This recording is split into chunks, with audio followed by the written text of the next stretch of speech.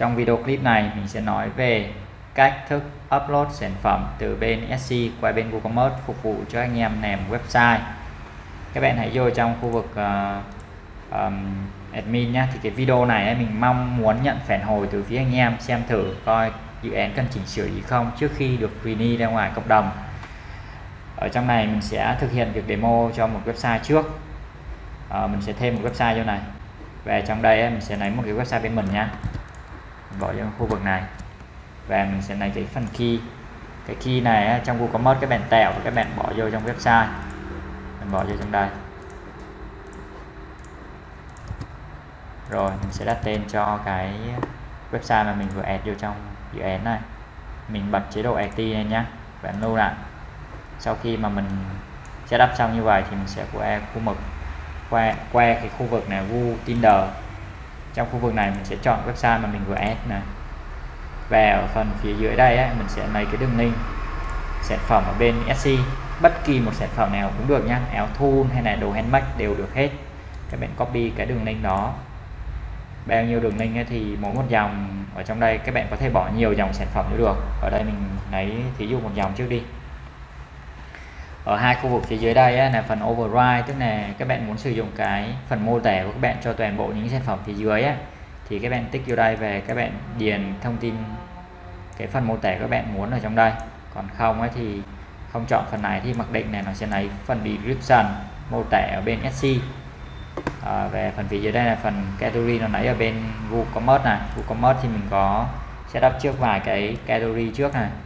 Thì nó bắn ra ngoài đây luôn mình chọn clothing nhé và ở khu vực phía dưới đây nó sẽ hiển thị toàn bộ những hình ảnh của sản phẩm đó. Ở trong đây mình không muốn lấy những cái hình sai chẹt của bên ờ, SC nữa, tại vì sai chẹt bên SC nó sẽ có nhiều sản phẩm và nhiều sai chẹt khác nhau. Cho nên là mình sẽ định nghĩa riêng cho toàn bộ sản phẩm ở trên website của mình đấy là cái sai chẹt của mình thôi. Mình sẽ bỏ tất cả những này đi bằng cách click vô hình ảnh. Bỏ. Rồi sau đó là mình sẽ ấn nút Google ở chỗ này này nó sẽ đẩy dữ liệu lên trên trên uh, website của mình. Mình sẽ thử lấy một trong cái khoảng thời gian chờ đợi mình sẽ thử một cái sản phẩm khác nhá. Sản phẩm này đi.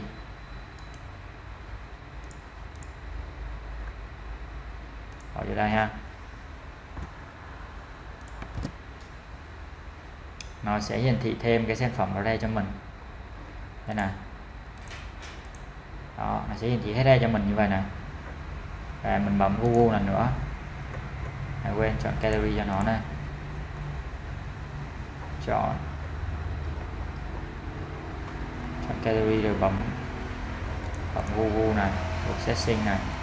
Nó sẽ mất một khoảng thời gian để nó đẩy dữ liệu qua nhá. Cái này cái này mọi người thông cảm tại vì nó cần khoảng thời gian để nó link các variation này với nhau. Rồi mình sẽ qua website của mình kiểm tra thử. Coi này nó đầy qua chưa? Xuống website demo này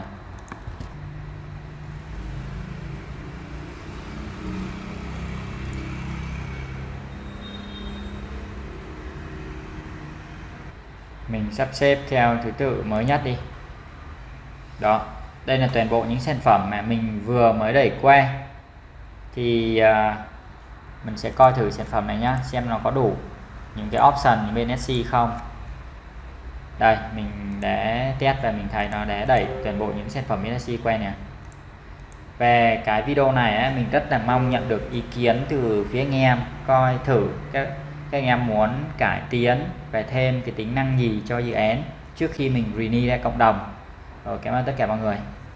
Mong mong chờ cái feedback của mọi người.